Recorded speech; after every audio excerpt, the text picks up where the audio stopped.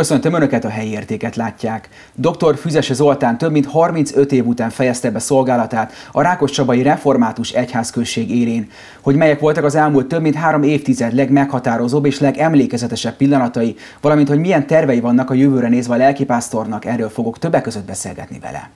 Üdvözlöm a stúdióban dr. Füzesi Zoltánt. Én is szeretettel köszöntöm a kedves nézőket, hallgatókat. És először is szeretnék gratulálni ez a csodálatos több mint három évtizedhez, és hagyd kérdezem meg rögtön itt az elején, hogy fog önnek majd hiányozni a közösség? Biztosan, bár ezt előre nem tudom pontosan megmondani. Nagyon örülök, hogy ennek a közösségnek tagja lehettem ennyi időn keresztül, lelkipásztora, úgyhogy sok hát kedves kapcsolat alakult ki, sok kedves emlék fűz ide, amely reméljük, hogy most nem szakad meg, hogy a ballagó diákokat idézem. Ezek a, az emlékek tényleg az én életemnek a szépségét, örömét, gazdagságát is jelentik egyúttal, amit Istennek is köszönök, és az embereknek is. A közelmúltban volt ugye a búcsúztatása egy nagyon-nagyon szép és megható esemény keretében. Amikor erre visszagondol, akkor hogy is fogalmazza kicsit, fátyorosá válik a szeme, vagy könyvbe lábad a szeme? A búcsúztatás maga nagyon kedves dolog volt az egyház, a nagyobb egyház és egyházközségünk részéről, és úgy érzem, hogy illő dolog, hiszen egy hosszú, szép kapcsolatnak egyfajta lezárása, befejezése, úgyhogy a, a hivatalos kapcsolaton túl természetesen reménység szerint folytatódni fognak a személyes emberi kapcsolatok, hiszen ez a így szoktuk mondani, és én is így érzem, és így tapasztaltam, hogy a közvetlen kis vérszerinti családomon túlmenően ez volt a nagy lelki család, ahova betagolódhattuk, és amelynek a épülését, építését igyekeztem én magam is szolgálni, és Istennek hála, hát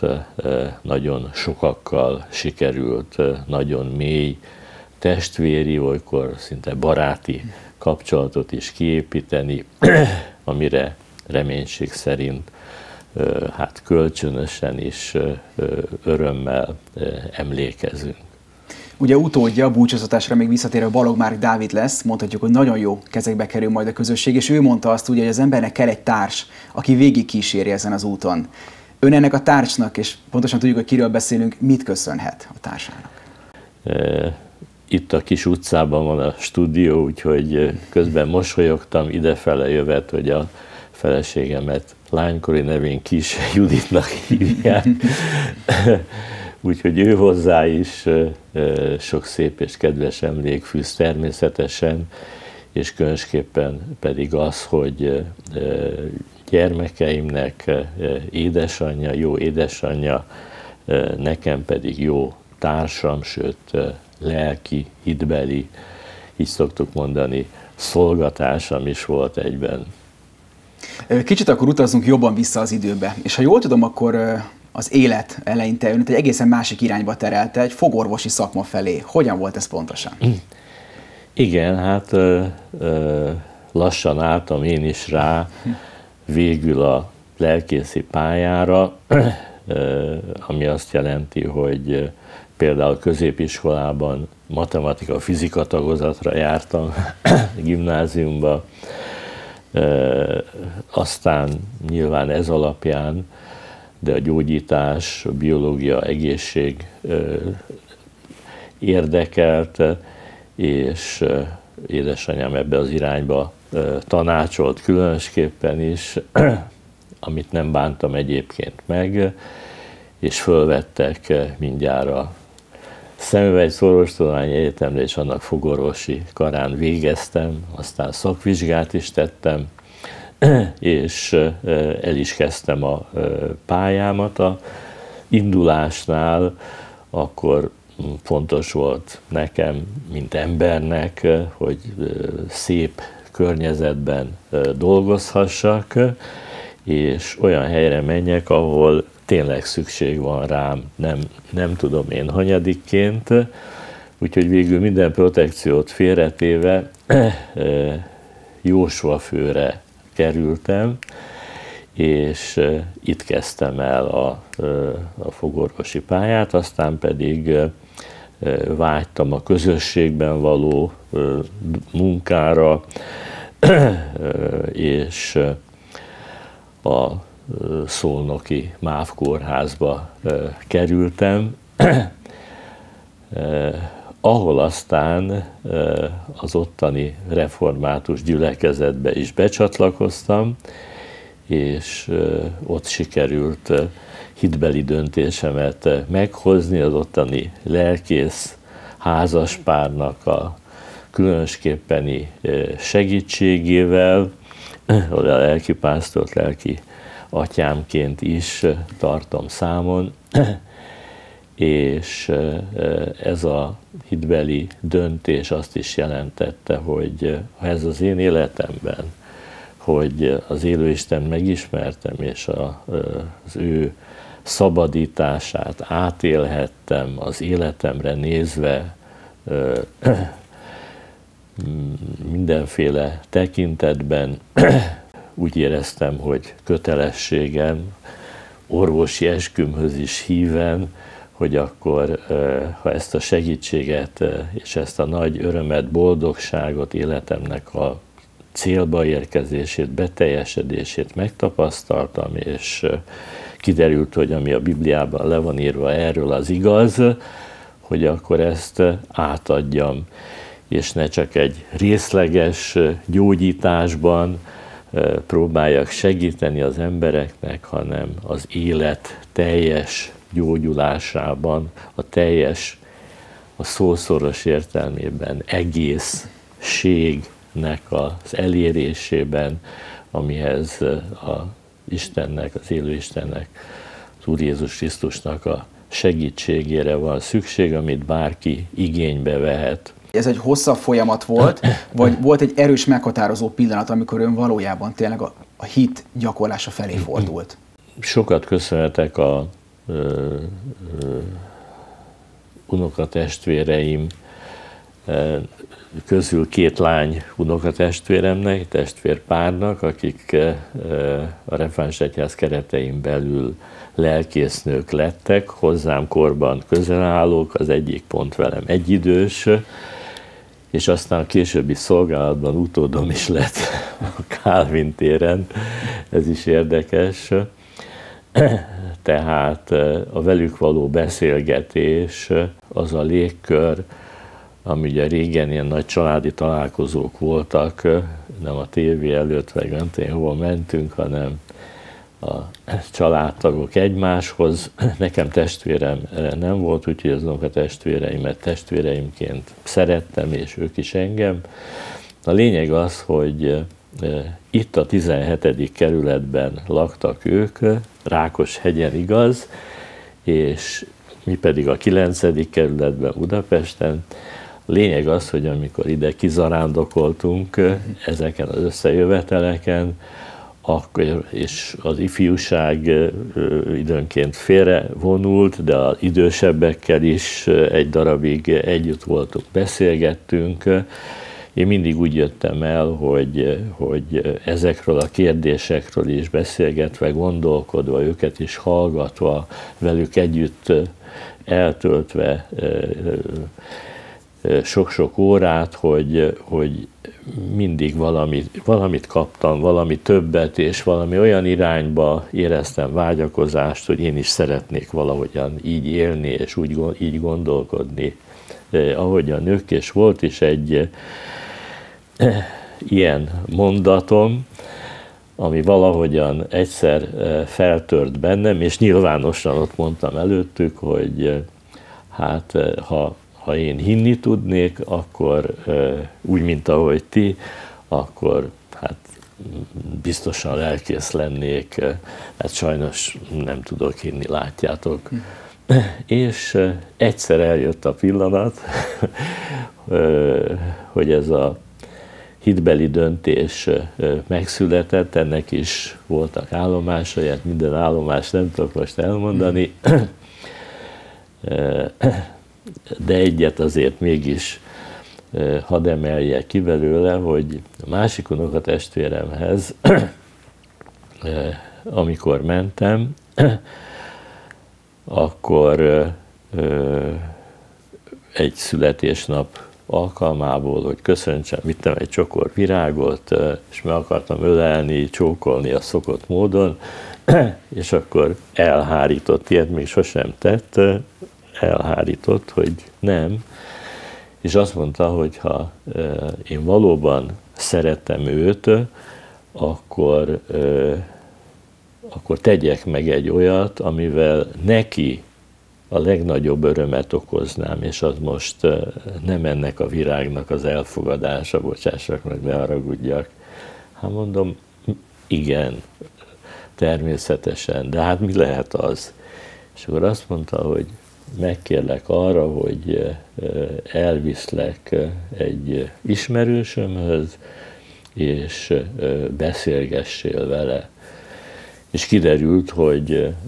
ez a fiatalember, ez velem egykorú volt, és már egyetemet végzett, és a katonaságát éppen befejezte, és frissen jutott hitre, így szoktuk mondani, és hát vele beszélgethettem, miután ugye igent mondtam, hogy elmegyek. Ő elmondása, viselkedése nehéz beszédű volt, de úgy éreztem, hogy nagyon őszinte és az igazat mondja, és ő elmondta, hogy hogyan is és miért is hozhatta meg a hitbeli döntését, és ez nagyon nagy hatással volt rám, mert itt már nem csak egy szeretett rokon, hanem egy vadidegen ember, egy férfi ráadásul mondta el a maga bizonyságtételét, ahogy ezt szoktuk fogalmazni, és ez nagyon fontos építő elem volt. Még egy zárókövet még hadd mondjak, hogy ezután még ő is elhívott egy szilveszteri ilyen összejövetelre, ami egy templomban kezdődött Isten tisztelet keretében, aztán elhívtak egy családi ifjúsági összejövetelre, hogy ott úgy mondjam, legyünk együtt, ott szórakozunk, és a lényeg, hogy a templomban, amikor a,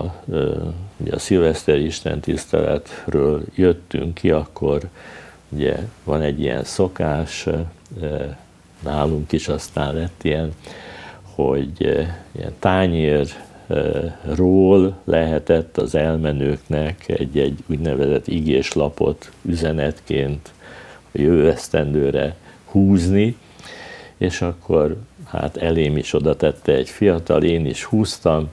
és ez volt rajta, hogy örüljetek az Úrban mindenkor, ismét mondom, örüljetek. A Filippi levélből van ez a negyedik rész, negyedik verse, és Hát én örülni tudtam, de ez, hogy az úrban való öröm, ez mit jelent? Hát ez, erről fogalmam sem volt. Na, a lényeg az, hogy ezt elfogadtam, ugye, engedelmesen, és aztán e, mentem tovább erre a e, másik alkalomra, ez egy szűkebb körű ifjúsági alkalom volt, és amikor én hát el szerettem volna jönni, nem maradtam végig, akkor elköszöntem, fölálltam, és vettem a kabátomat, mentem volna el, és ott is elém penderült egy ifjú, egy kis tányérral, és azon is voltak lapok, és volt, hogy még húzzál, légy szíves, ebből is. húztam ebből is, olvasom, örüljetek az Úrban mindenkor, ismét mondom, örüljetek. Gyorsan visszanéztem, milyen igék vannak itt még, hát csak ez az egy darab van, és mindenhol ezt osztogatják, és nem mind más volt, és ezen már egy kicsit gondolkodtam, hogy, hogy, hogy pontosan ugyanezt húztam, és benne van, hogy ismét mondom, örüljetek, hogy mindjárt egy ismét üzenet, amit kaptam, és a lényeg az, hogy most már el tudom mondani, aztán a szolnoki lelkipásztor, ő vezetett be a hitnek a dolgaiba, sokat mentem hozzá, kértem beszélgetést, és minden, ami ezzel kapcsolatos kérdés volt, azt elétártam, és a vége az lett, hogy összeállt a kép számomra, és azt mondtam, hogy ezt ki kell próbálni nekem is, mert vagy nincs értelme végül az életnek, vagy pedig akkor megtalálom az élet értelmét, és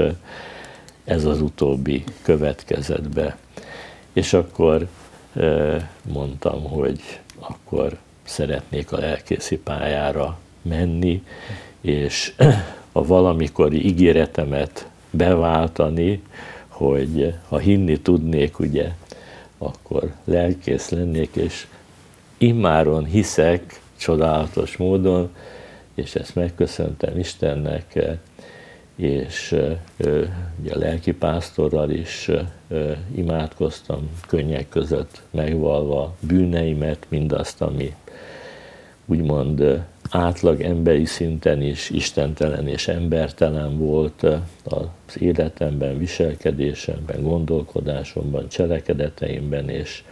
tiszta szívet, tiszta gondolkodást és szent lelket kértem Istentől, és valóban egy új,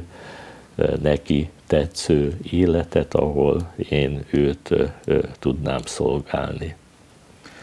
Nehéz egy ilyen hosszú, tanulságos és igen, a lélekre mérható monológ után megszólalni. Ugye ennek a fantasztikus útnak, bár most véget ér, de ennek az igen nagy szelete, sőt jelentős szeleteit Rákos Csabán történt meg. Még annyira beszéljünk, hogy itt a felkérés hogyan jött a szolgálat tekintetében itt Rákos Csabán, hogy, hogy itt Rákos Csabán szolgáljon? Ugye önálló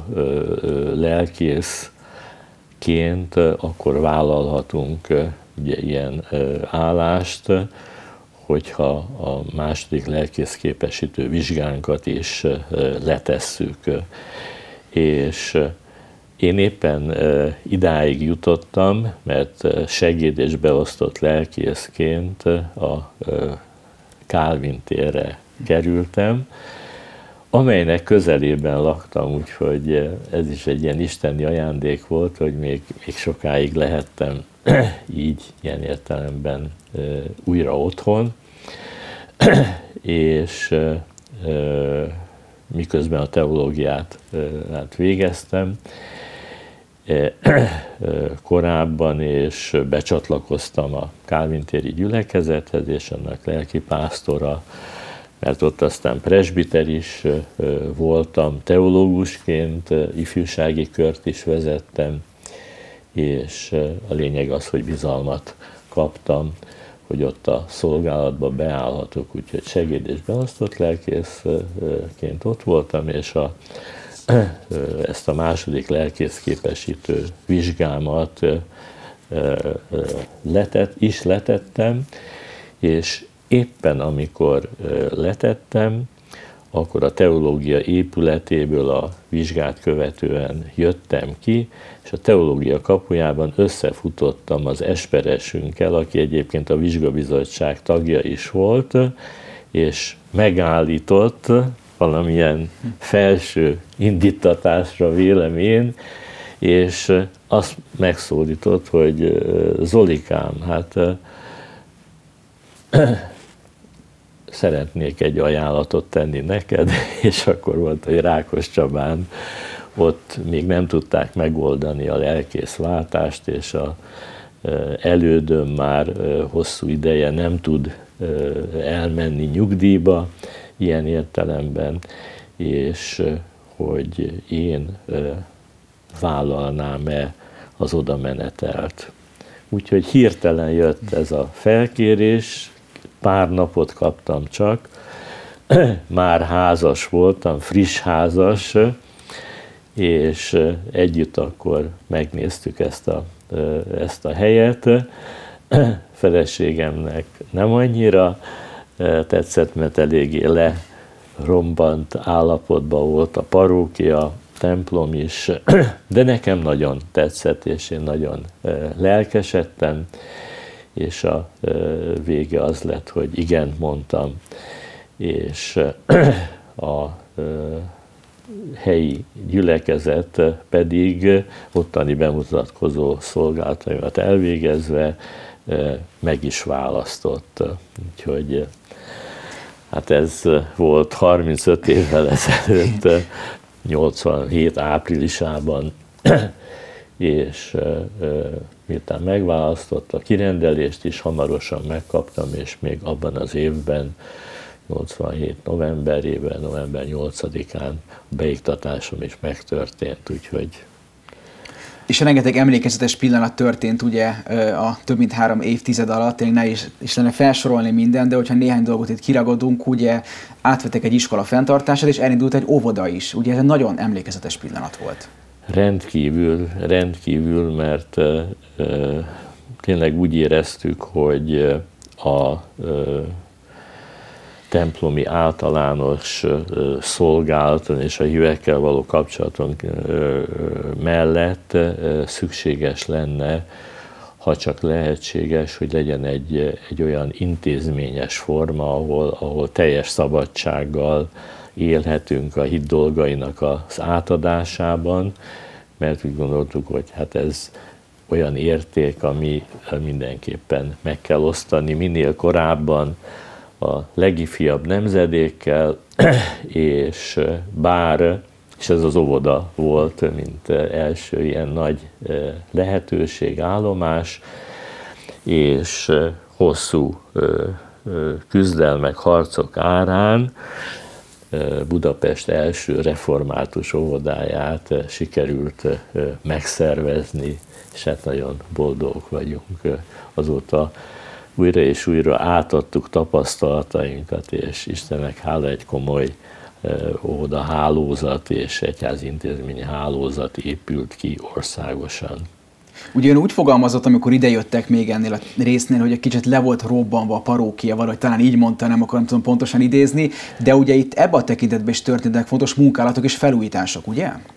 Hát óriási felújítások történtek, úgyhogy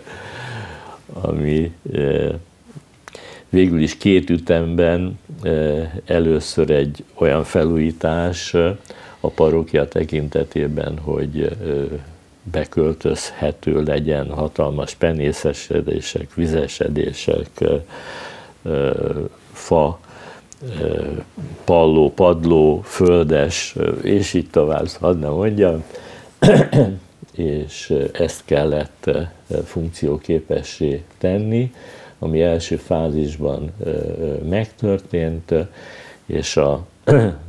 jelenlegi templomunk fennállása századik éves évfordulója kapcsán pedig magát az egész templomot kellett a kőépületet kivéve felújítani tetőtől talpig, így kell, hogy mondjam, mert a, a padló rész is teljesen föl lett véve, és a fűtési rendszer, padlófűtés is oda elhelyezésre került, és új cserép és a teljes belső bútorzat festéssel és mindenféle egyéb szükséges modernizációval. Úgyhogy ezt sikerült elkészíteni, aztán pedig egy teljesen új parókiális épületet is, tehát az utolsó szögig mindenki lett cserélve, és hiányzott egy korszerű lelkészrakás, és hiányoztak még bizonyos gyülekezeti funkcionális terek, hogy fejlődhessünk és az igényeket kiszolgálhassuk, és ezeket sikerült megtervezni, különböző pályázatokon és nagymértékű adományokon személyesen keresztül is sikerült végül megvalósítani. Úgyhogy az én szívemben így volt hajdanán, ugye, mint Budapest 9. kerületi lakos, hogy bérházba, hogy hát sok mindent szeretnék, csak építkezni ne kelljen. Mert ahhoz nem értek, sose építkeztünk. és az Úristen végül azt adta meg, hogy itt a legtöbbet építkező lelkész lettem, és úgyhogy meg is szerettem ezt. Nagyon félve tőle, és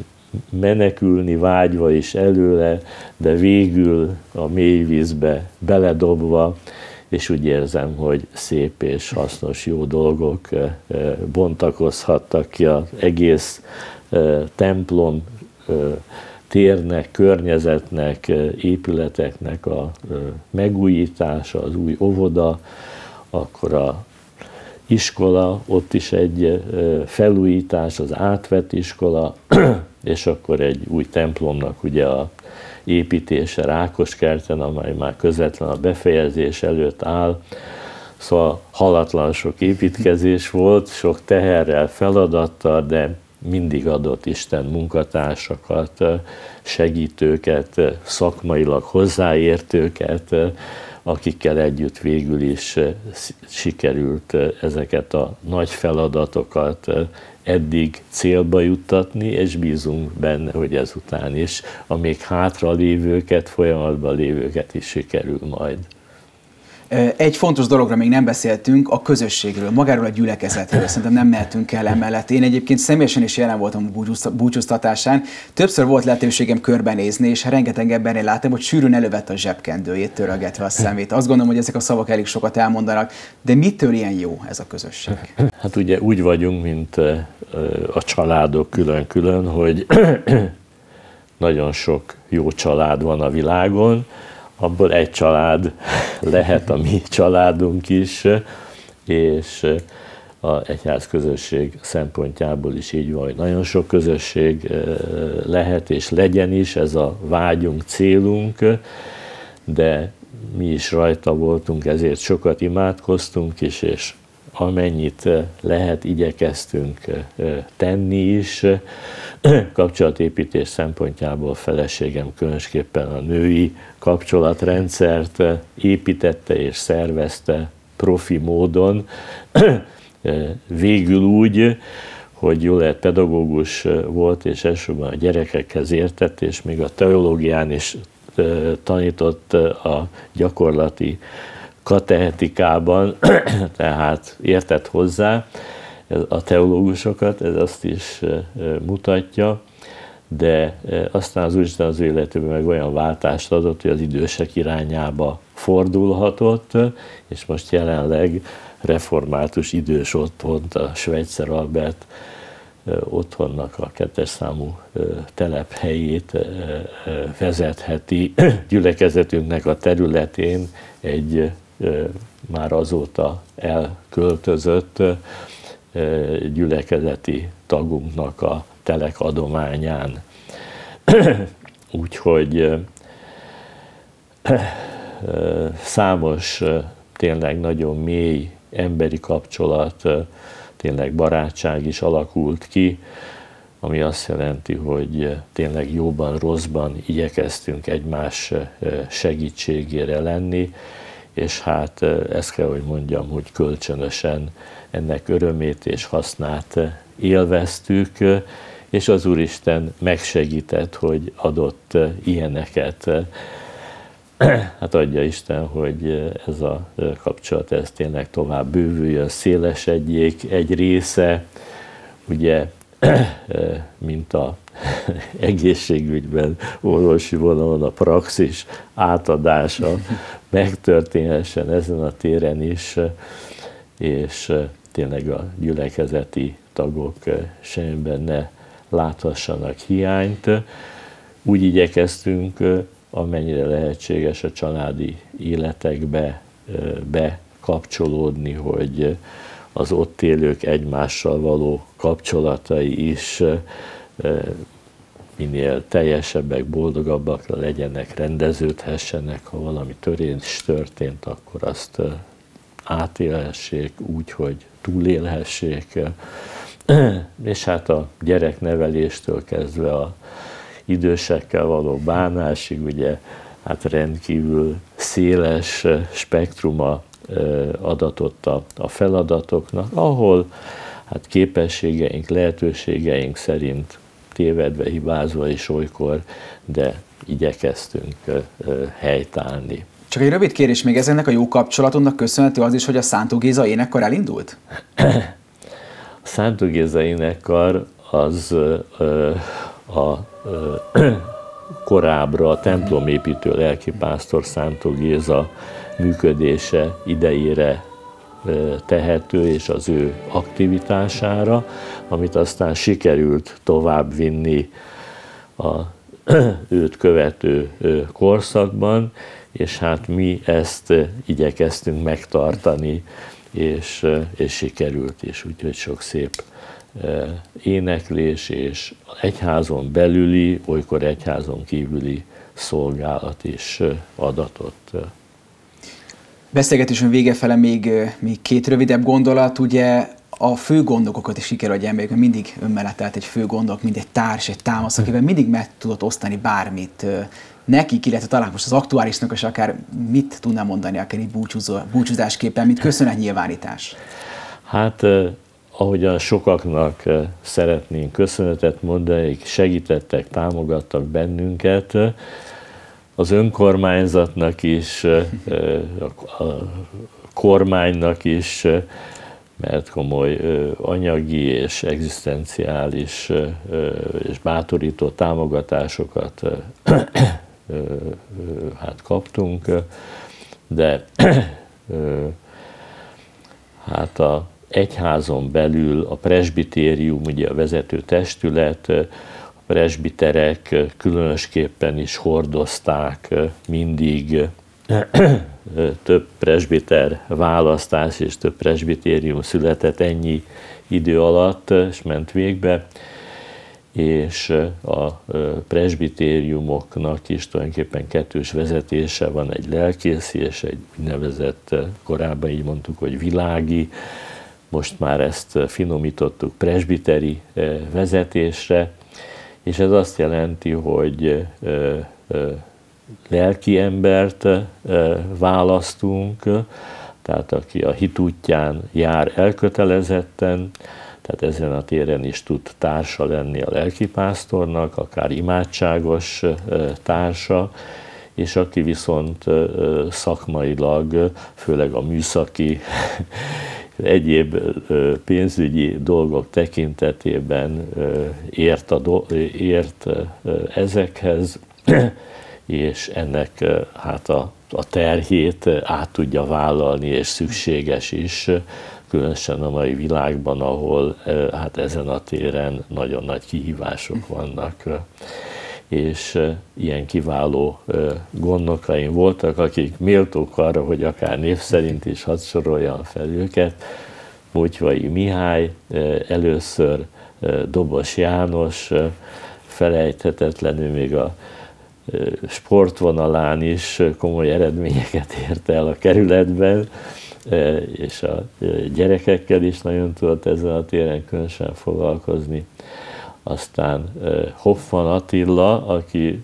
azonos nevű volt egy akkori polgármesterrel, sokan össze is tévesztették őket, ő is a műszaki vonalon nagy építkezéseinket vele kezdhettük és végezhettük. Földvári Nagy László, aki nem csak a gyülekezetnek volt főgondnoka, hanem a az óvodánknak, Betlehem óvodánknak szószoros értelmében is az egyik gondnoka. Úgyhogy így kétszeres minőségben is hálásak lehetünk neki. Jelenleg Sarkadi Zsolt, kedves testvérem és barátom, aki különösképpen is a, a templomépítés rendkívül nagy feladatában, a Rákoskerti templomépítésben vállalja magára a fő terheket ezen a téren, de a iskolában is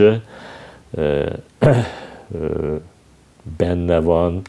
az iskolánknak a folyamatos fejlesztésében, építésében, ezzel kapcsolatos küzdelmekben,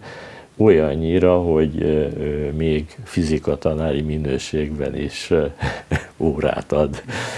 Úgyhogy nekik is nagyon-nagyon köszönöm, és köszönöm Istennek, hogy ilyen szolgatásokat rendelt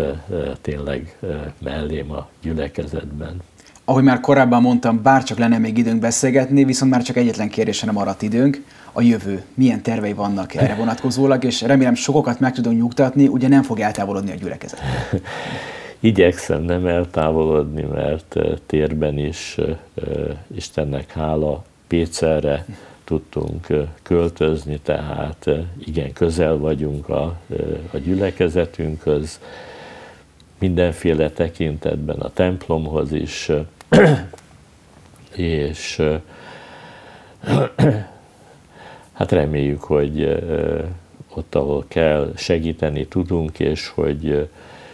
még azok a nagy terveink, ami egyik a Rákoskerti templomnak az átadása, ami már a küszöbön áll, a templomra már csak a szárnyak felhelyezése,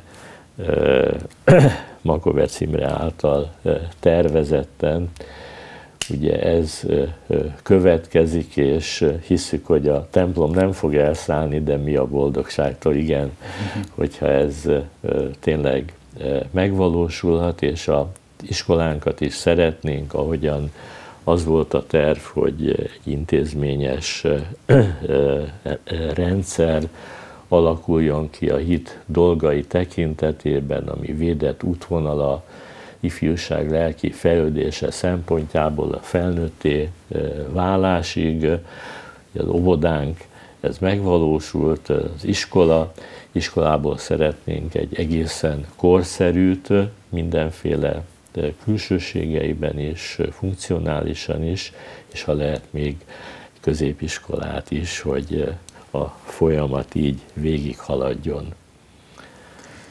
Ezekkel a jövőbe tekintő gondolatokkal zárjuk beszélgetésünket, amikhez nagyon sok sikert kívánok, viszont mindenek előtt szeretnék gratulálni a több mint 35 éves szolgálatához. Nagyon jó egészséget és nagyon jó pihenést kívánok. Nagyon-nagyon szépen köszönöm, és mindent viszont is. Köszönjük szépen. Önöknek pedig a figyelmüket köszönöm meg, tartsanak velünk legközelebb is, viszontlátásra!